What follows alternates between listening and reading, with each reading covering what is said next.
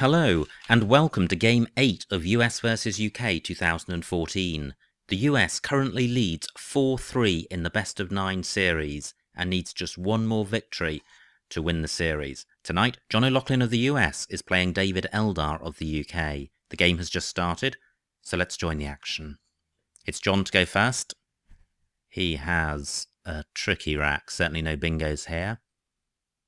We have the benefit of our Railbird's observations on the right of the screen. Skull has been suggested. That would certainly sort the rack out. But it doesn't place the K on a double letter square.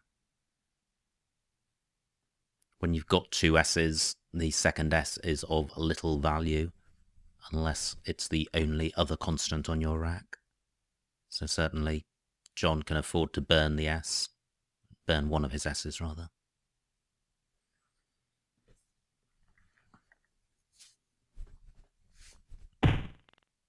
Yep, skull for 20, that's fine. David has a horrendous rack, no vowels at all. He does now have a U to play through, but that's that's no good without any vowels, so he may be tempted to change here. Now the placement of skull has been questioned because it is placing the S in the triple word square column, column 8, for 8 letter bingos ending in S, whereas if it had been placed at H4, that danger wouldn't have existed. David's changed six of his tiles, and we're back to John, who is swamped with vowels. And he's drawn another S.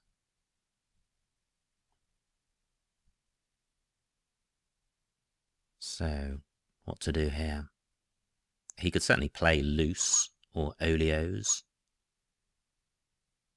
But that's keeping two O's. Now, it may be better to change all four O's and keep ESS. Well, he's changed three tiles, so he's kept EOSS. That's fine. Now David has a better rack. He's got a good balance of vowels and consonants and he's got the X for score. So he could play Voxel in columns 11 or 12, keeping IT, ITY rather. Not a great relief.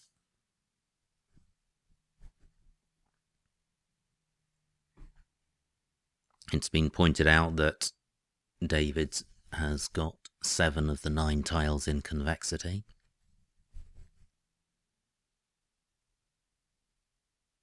And people, our railbirds are also looking at the extensions of skull which reach the triple word square at H15. I think sculling and scullers are being mentioned. But with this rack, Voxel is the best that I've seen. I'm wondering if there's a way of playing off the Y with the X.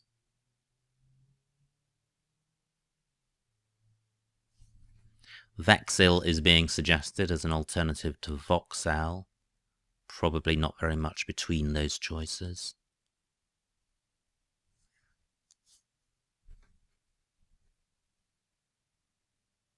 Well, the last time David played, he was out of the traps apace with two bingos in about 30 seconds. He's had much more grittier racks to deal with this time around. Yeah, it is the, the Rackleave ITY after Voxel, which is not great.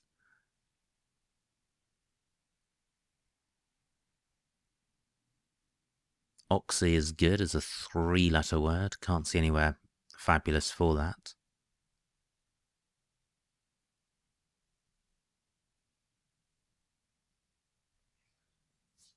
Vitex is good. That's another five. Well, that's a five-letter play on David's rack. Again, nowhere great to play it, so I haven't seen anything better than Voxel, but...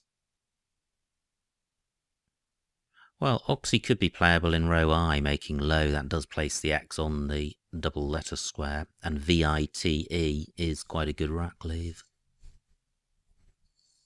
and it's not giving anything away to John. So that certainly is worth considering.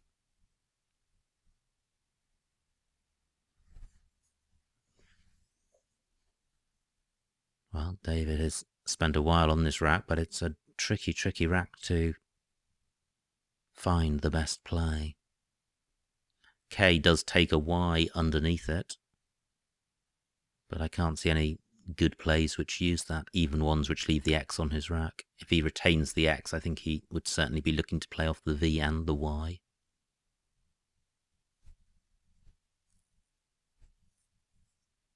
Levity is being suggested, keeping X, Y. Well, that's a possibility. Doesn't seem to give much away. Sorry, OX is the yeah OX is the leave from Levity, as pointed out by Quizzical, and that's quite a good rack leave. Not bingoy, but should be able to score with it. And well, it's being pointed out that Levity in column 12 would place the I to the right of a double word square, where the X could go the next go.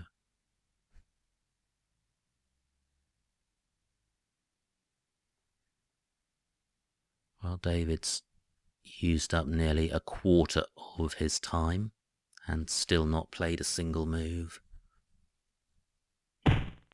There goes Voxel, 30 points. I think that probably was just the best. Now, outsees for John.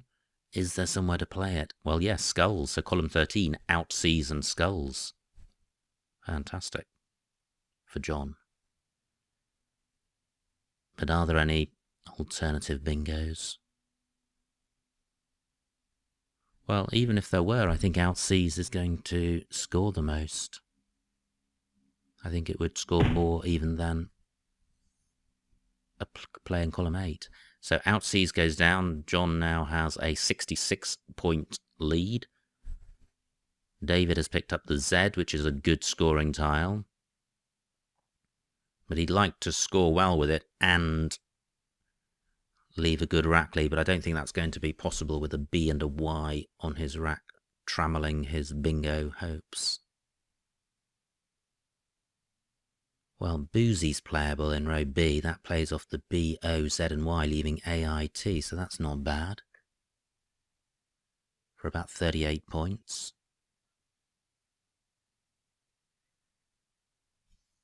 What else is playable? Well, Zozo and Ox is available. But I would have thought Boozy playing off the B and the Y is certainly better than that. A few suggestions coming through from the Railbirds. Bazoo and Zoa and Vat. Ah, well, Zoa and Vat, yeah, very nice. But keeping the B and the Y. I think Boozy's pretty good because not only does it score well and and get rid of the non-bingo tiles, it also opens up two triple word square lanes, row A and column 15. So if John takes one of them, David has first dibs at the other.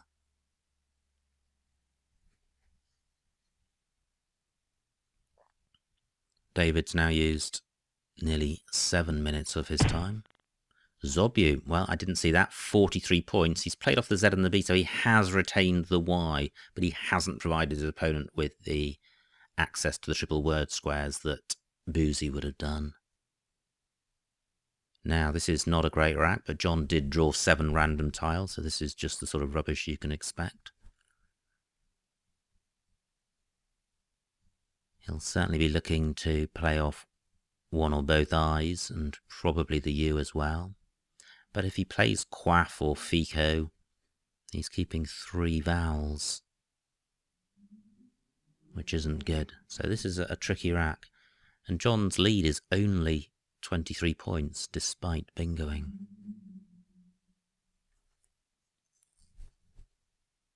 And David's play of Zobu means that John doesn't have any really good scoring places available. Well, he could play Coke, but that's keeping two I's, a U, and an F. Not good. And he doesn't have an A or a D for going in front of Zoe. QF. Well, QFs is being pointed out by Magic Hour. That's quite a nice play in column 8. It doesn't score well, but it's... Well, it's getting rid of the U, one of the I's, and the F. All of which are good things to do. Well, John's gone for score with Coke. Wow, that was quick. I didn't even see what he had on his rack. 80 points for Literary. Fantastic. And David and the United Kingdom now take a 27 point lead. And John's got a horrendous rack, four eyes and a U. He took a, a risk with playing Coke, going for score, keeping a bad rack, hoping to draw well. He's drawn badly. He's now got a nightmare rack. But he's able to play through it. 32 points for Fiery. That's a good spot. But does David have another bingo? This looks pretty good. Through an N, he would have entoderm. Anything through the floaters in literary. I'm looking at the right of the screen for inspiration from our railbirds. No bingos are being suggested. This looks very close to a bingo. Tremored is being pointed out. Wow, fantastic. That is playable in row L. Will David say it? If he does, it's going to give the UK a good lead in this game. John is now five points ahead, but David's on turn, and he, he's got a bingo on his rack. But it's a tricky one, Tremored. Does he know it? Or does he have the requisite degree of confidence in it? No other bingos have been suggested, so that might well be the only one available.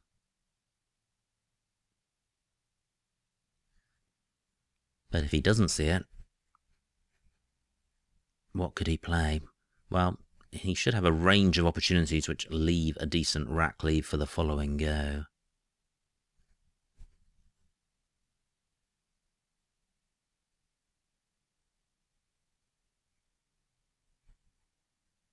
He could, for example, play Mo in row O, Mo and FE. Only 20 points. A lot worse than Tremored. But the rack leave of DERT is pretty good. But will he spot Tremored?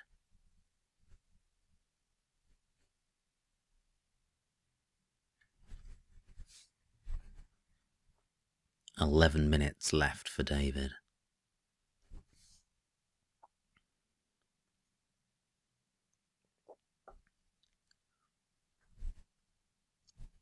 53 tiles left in the bag. So we're about halfway through.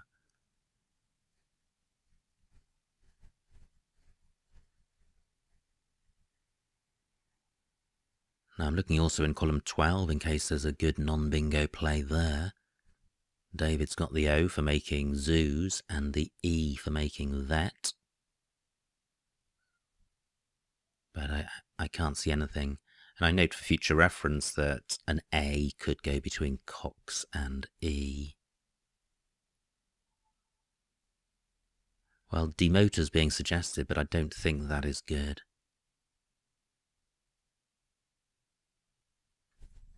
Yeah, it's well, the, the railbirds are confirming it's it's not good, and Quizzical is pointing out that there are no sevens. So I think it's tremored or nothing, and David is just used up half his time now.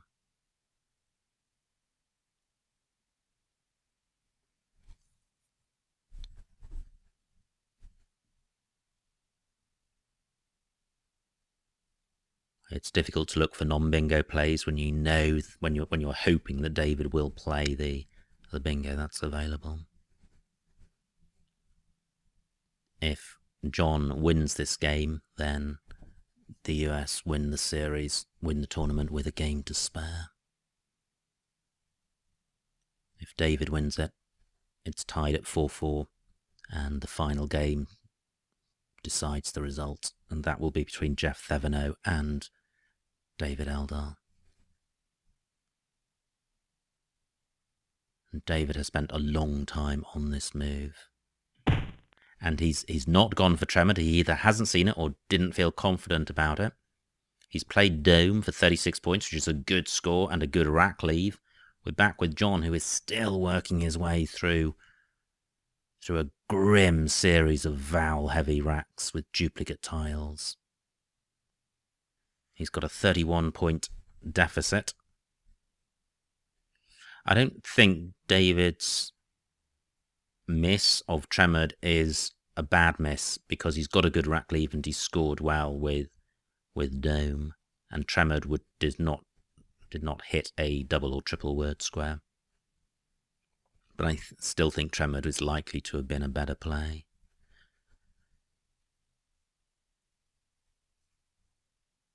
So, what to do with this rack? Fugio onto an O. There is no O. Well, he's changed. He's changed all seven. And David has a fabulous rack. He has Atebrin. Does that play anywhere? And does he have anything onto the D of Dome? This looks really bingo-y.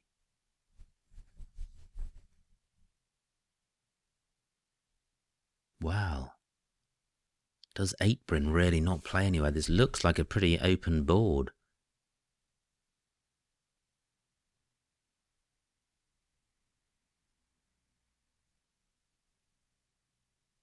But I can't see anywhere for Atebrin. I don't... well, is there an anagram of Atebrin?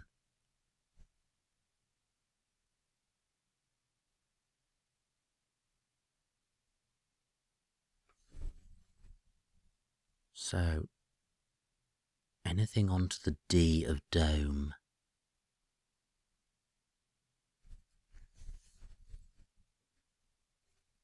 Well, can't see anything. And then there's the E and R of literary as floaters, which both duplicate tiles on his rack. So having missed a bingo, which was difficult to see, he's now got a bingo on his rack, but nowhere to play it. Fiery takes an S after it. I think it's a slang word or an Australian word for a fireman.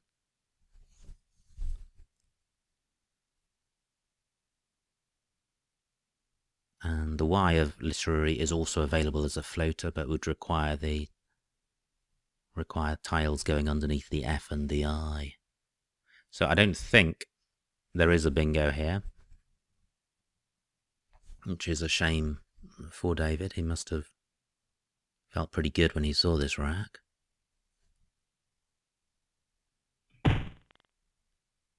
Okay, bye for 16. He's played off just one tile and he's kept retain, which is probably the best six-letter step.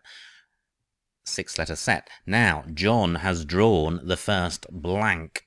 He has played his way through some truly horrendous racks. He's got about a 50-point deficit but he now has the blank and a good scoring tile in the J, so he can see daylight.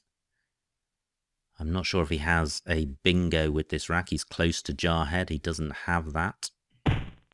Hedgerow for 50, that's pretty good, and he's retaining the blank. Now, wow, retained. That was quick, 77 points. David now has a 70-point lead. We're back with John. He's picked up the cue that I think he threw back earlier. So he'll with the blank, he's going to be anxious to get rid of that cue as possible because that is hampering his bingo prospects. The F and the M also aren't good, but the priority is going to be to get rid of the cue. Can he do that?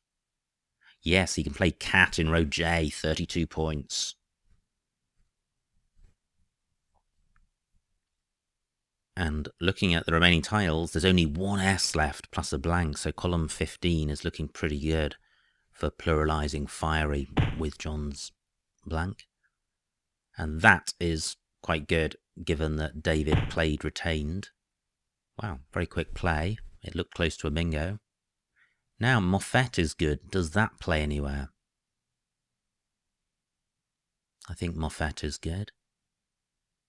Well, it does. Oh no, it doesn't. It, I thought it played in row B, but RO certainly isn't good.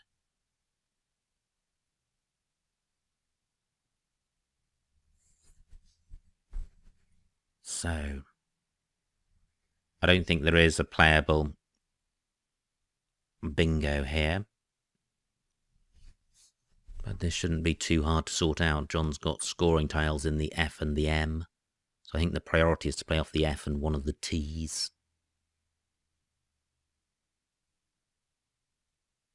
Fumetto is also on John's rack but unplayable. So both players have had bingos on their racks which don't go down. Now, it's been pointed out that Moff Et with two Fs plays. Where does that play? It must play through an F or an E. Well, it doesn't play through an F. Where's the available E?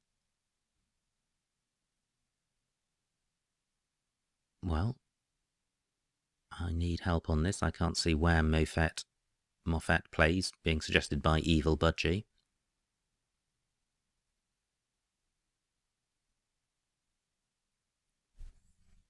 Okay, well, we'll wait and see if we get any comment on that. I2 across. Oh, well, of course. Look at that. The E of Coke and ST. Wow. So John does have a playable bingo here. Fantastic spot by Evil Budgie. I'm not 100% sure of Muffet with two Fs and two Ts, but I think it would have been pointed out by a railbird if it wasn't good. But great spot by Evil Budgie. It is opening up column one, but that's uh, no reason not to play it. 11 minutes left on John's clock.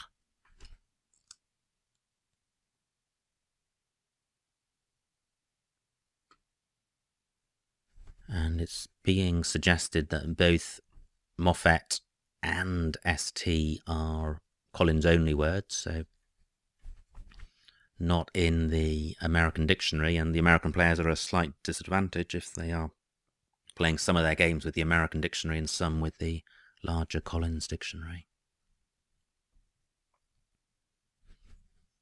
Now, David's used used up a lot of time, but even though he missed a bingo, he has now established a 79 point lead. But that is going to be completely eroded if John is able to bingo.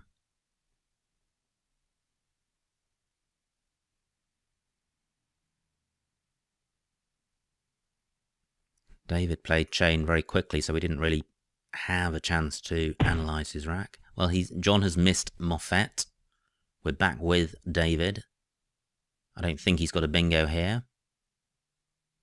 Ah, it's been pointed out that Moffett was not Collins only. It is in the US dictionary, and John would certainly know the Collins only twos, so that's certainly a miss, although a very difficult word to see and it can be difficult when you have words with both a spelling of one F and two Fs to be sure of exactly which of those are good.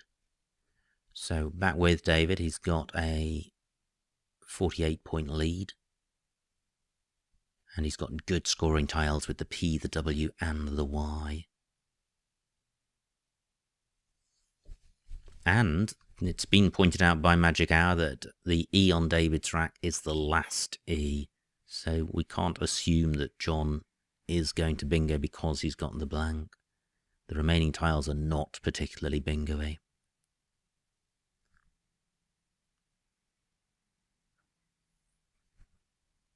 So, where can David score? Well, and, I, and in particular, I'm looking at the W and the Y because those are the least bingo-y. Way, 30 points, good score. Now, we're back with John. This doesn't look massively bingo-y.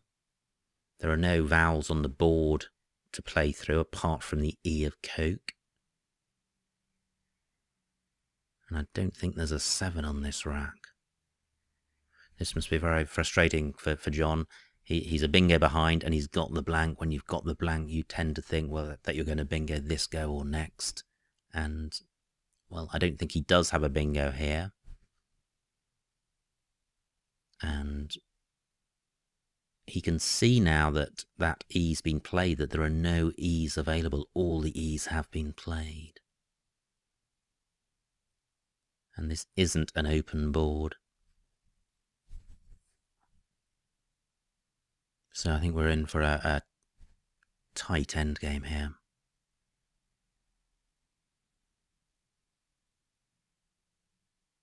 Or a tense endgame rather, as John is striving to have a playable bingo.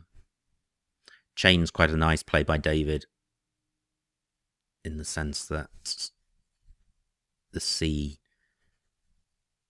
doesn't take a tile in front or after apart from H, so it's obstructing bingos.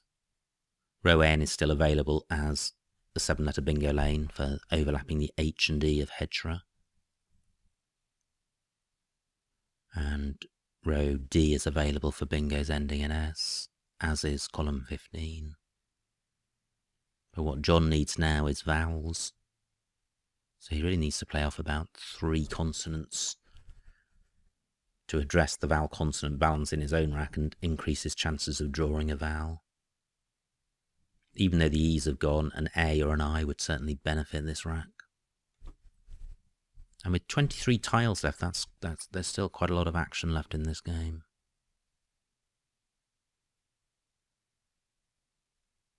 Not many suggestions, if any, from our railbirds as to what John should do with this rack. This is a tricky rack.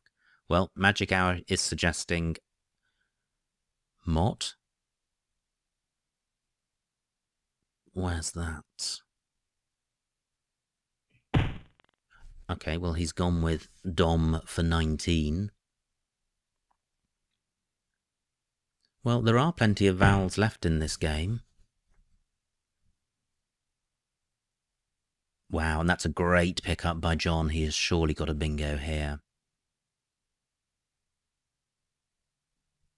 Italians and Latinos play and plays in row row D. David's play of Gist has taken out the most valuable bingo lane, column 15. And John's play of Dom actually took out the bingo lane in row N.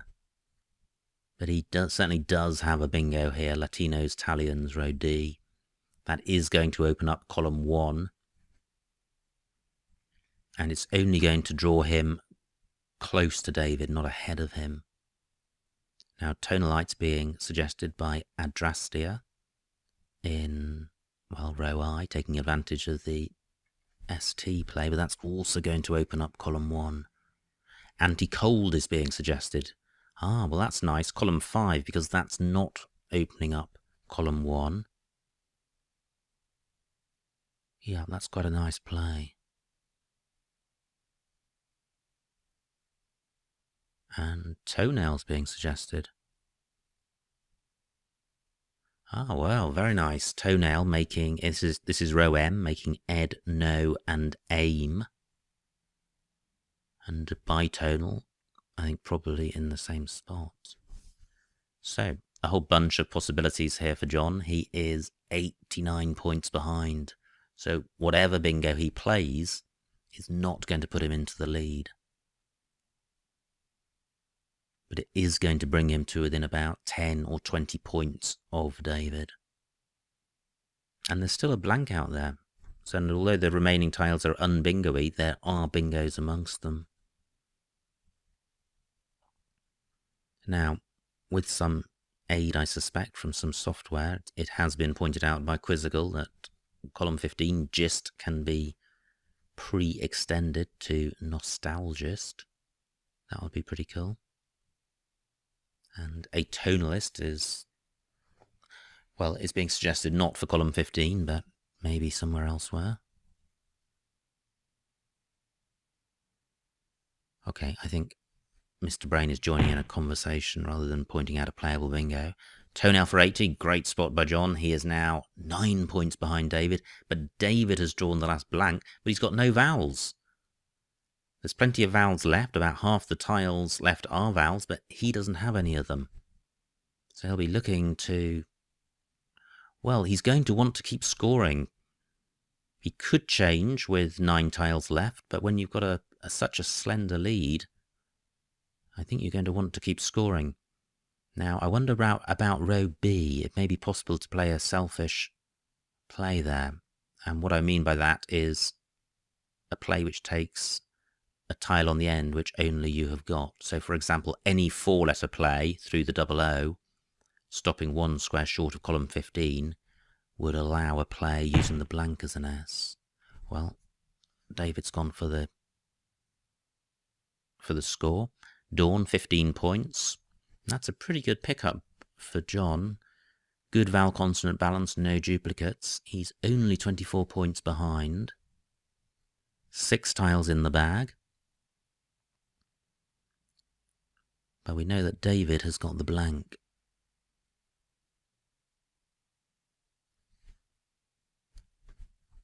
Now John should be able to go into the lead with this rack.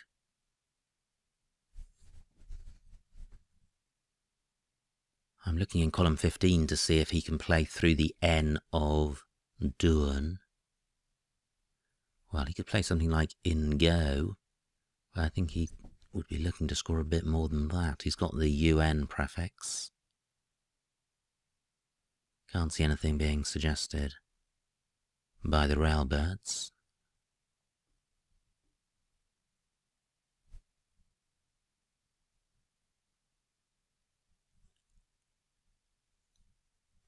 And this is a tricky situation when you're 20 points behind, because you may be able to win without a bingo. So do you keep the board open to maximise your scoring opportunities or close the board down to restrict your opponent's scoring opportunities? Vug is playable in row L, which gets rid of the problem tiles. And from John's perspective, there are only four vowels left out of 13 tiles so he's not going to be worried about a vowel heavy rack leave.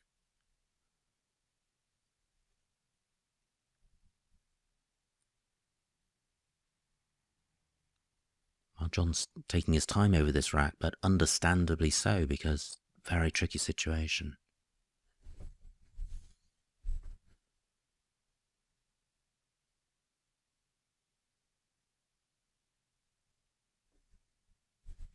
So Vug 22 points. That would take him to 392.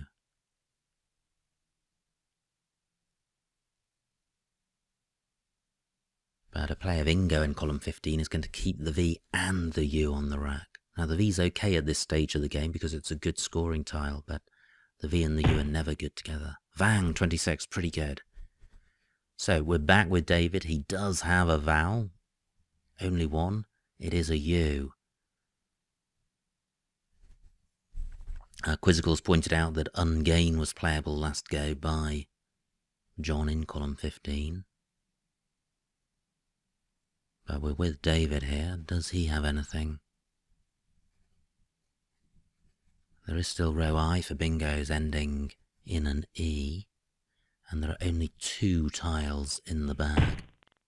He's played unplug and he's played his blank. He's for 27 points. He now has just a 25 point lead He's trying to outrun John. Will he do it? We can, oh, well, look, we can see what David has got on his rack. He's got the tiles at the bottom of your screen, ADRW. If there are two spots to play, to play those tiles, he could be home and dry, but I'm, I'm not seeing anywhere for them. But the W is a good scoring tile to have.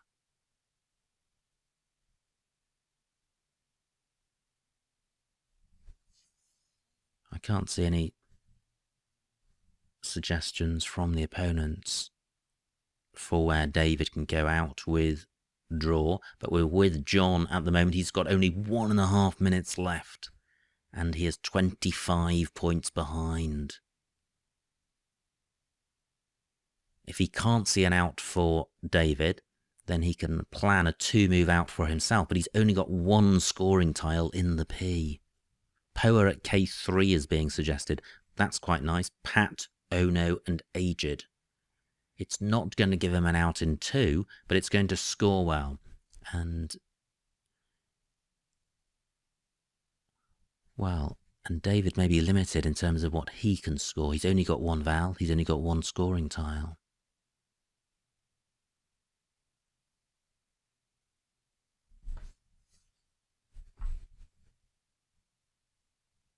I think David will be able to go out in two if he can't go out in one. Yeah, Quizzical is saying can't see an out for David. John is now really short on time. He's got just 30 seconds left. Poa seems to be the only suggestion coming from the Railbirds. What's that going to score? 28 points. 424, that would give John a three-point lead. But he, but John would then have a rack of IINU. What's he going to score with that? Well, he's gone for 13 points for Oi. Has he seen an out for himself with AINPU? We'll see. But we're back with... Uh, John's only got eight seconds on his clock. Where great play by David, 16 points. He's now got a 28 point lead. John has gone overtime. John has gone overtime. He loses 10 points and will forfeit the game if he doesn't finish all his moves before he goes one minute overtime. So I think John has lost this game. David's got just a D left. Does he have two spots for that? He can play Ed in row G. Where else is there for the D? Hmm. Is there a second spot for the D? Well, Magic Hour is saying that if John can block Ed, then David could be stuck with the D, in which case John could probably play out and win. Wow. That would have been astonishing. But there was no time for John to think that through and, and play out. He was just ran out of time. He's going to realise that now. Because I think Ed is the only place for David's D.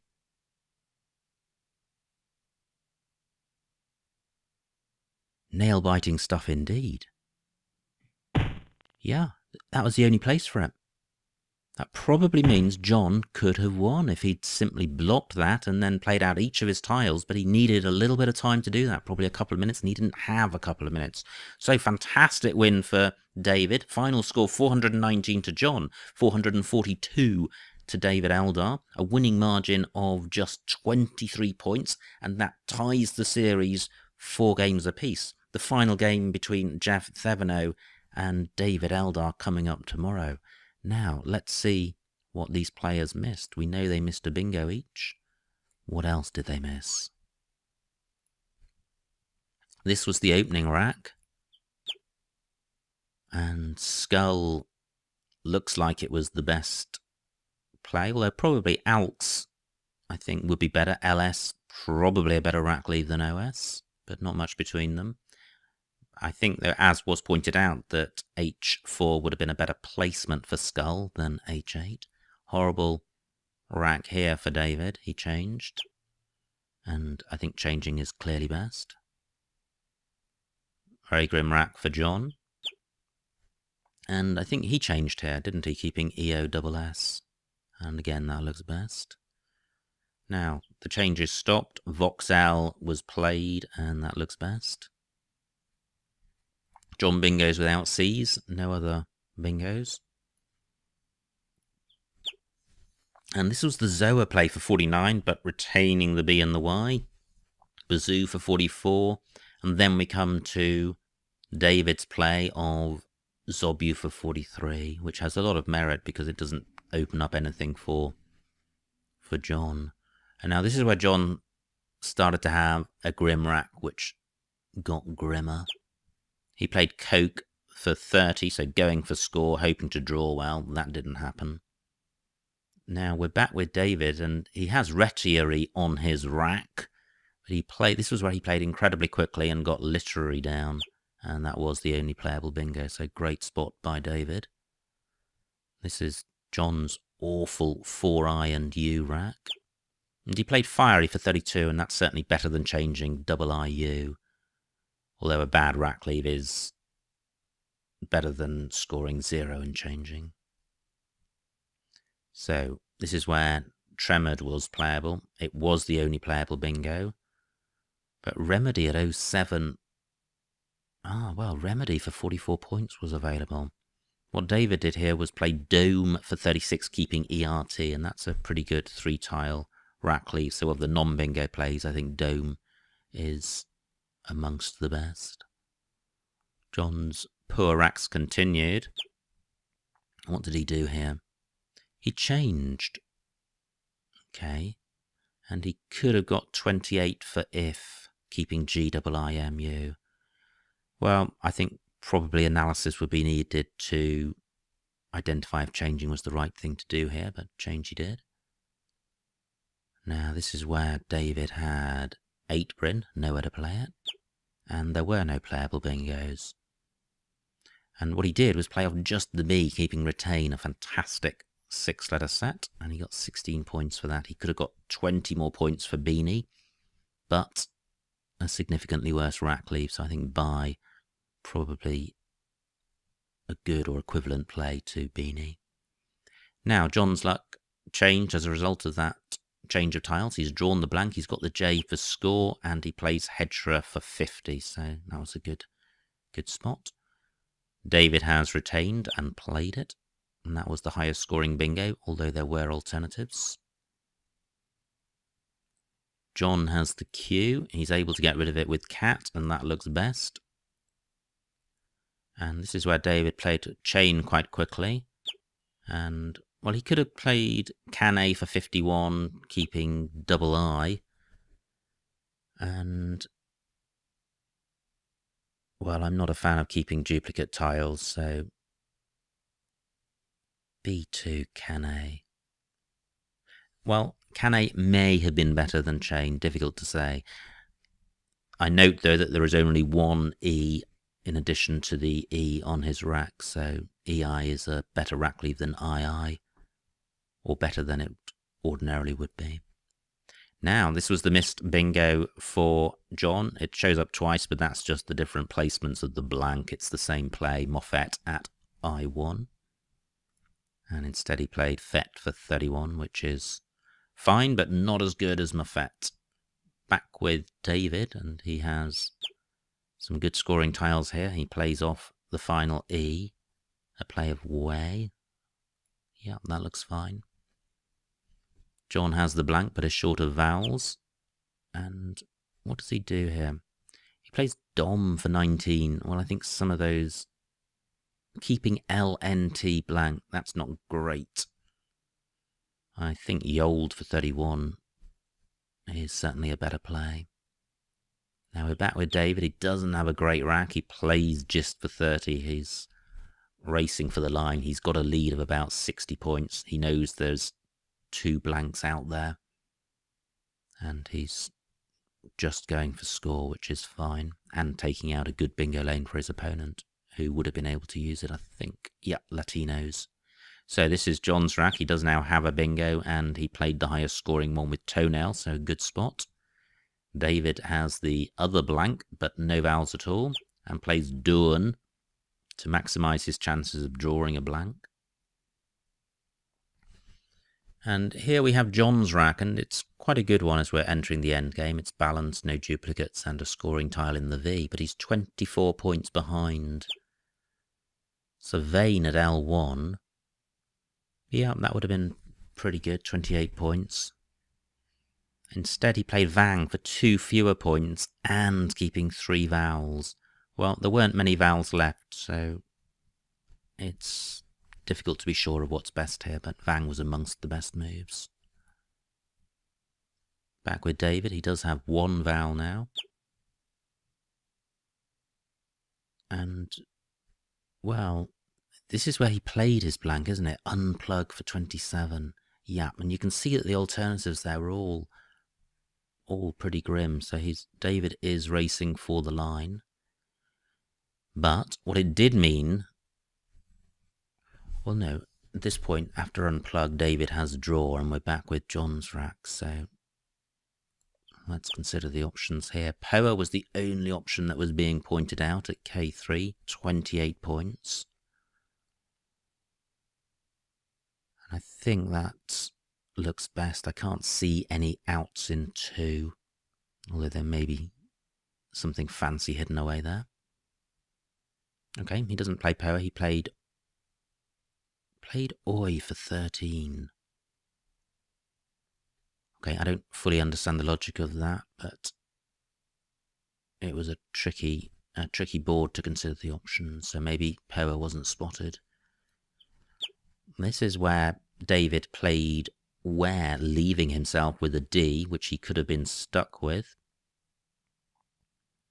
That's the second choice down there. He could have played waged at J5, keeping DR. Wow, this is just a, a really complex end game, and to analyse this, you either need uh, software, which is, isn't available to the players in the game, or you need time, which was also in short supply in the game. So David did play where, and at this point, we think, or I think, and I think it was suggested by the Railbirds, that since David could only go out in one spot, if John blocks that spot, then he can basically score five times and get four points off off John. So in five plays, could he score 25 points? Probably, yes. I think this was a winnable game for John. I don't think the program, the ISC suggestions here take account of how to maximize an end game when a player can be stuck with a tile, so we're not being shown those suggestions. Unpaged is, unpaged is being suggested in column 5, and that doesn't block ED. And finally,